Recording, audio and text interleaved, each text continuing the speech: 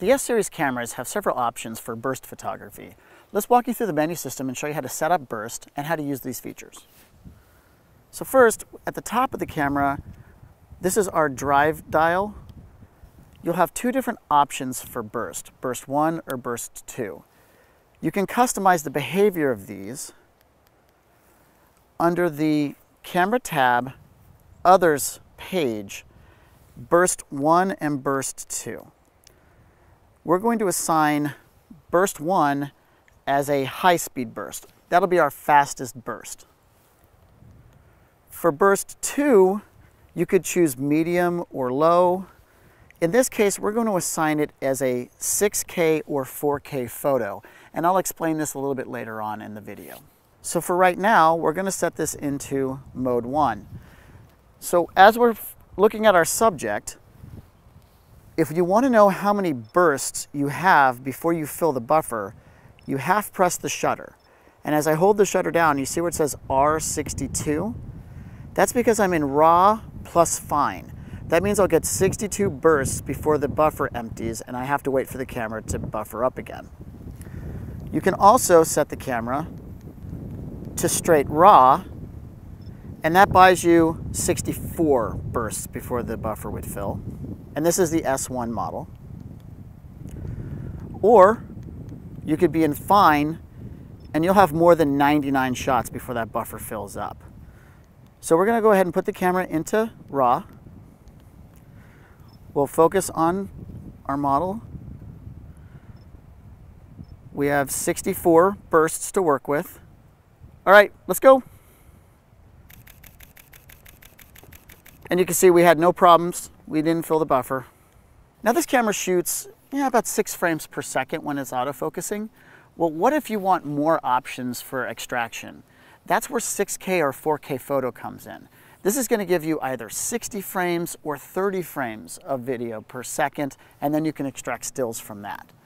So we'd first put this into mode 2 because remember we assigned 6K photo to burst 2.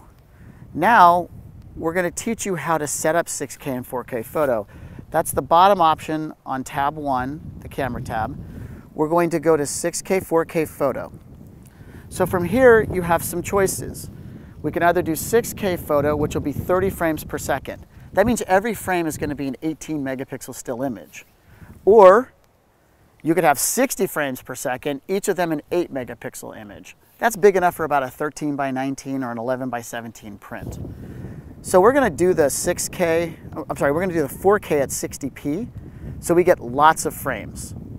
So now that we have this set, we're going to line up our shot.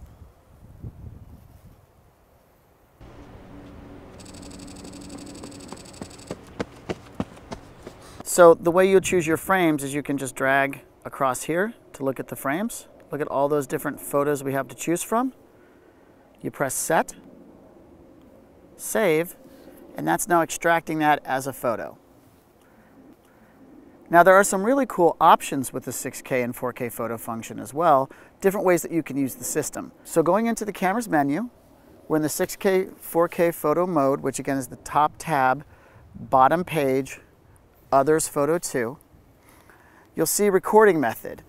The method I was using is a burst function, so I had to hold the shutter the entire time, and then when I was done shooting, just took my finger off. You can also have it behave like a camcorder. So what I can do is I can press the shutter now and it starts recording. Go ahead and jump. And then I can stop recording. And then I can select my frames from there if I'd like. My favorite function though is something we call pre-burst. So with our pre-burst function, what this is, it's a buffer. So I'm gonna zoom in tight and then I'll hit the shutter after she's jumped. And what you'll see is it will have actually captured the images of her jumping before I had hit the shutter. Now I hit the shutter after she has already jumped. And as you can see, I still got a shot of her in the air, even though I hit the shutter after she had jumped. And that's all the burst options you have on the S series of cameras. Panasonic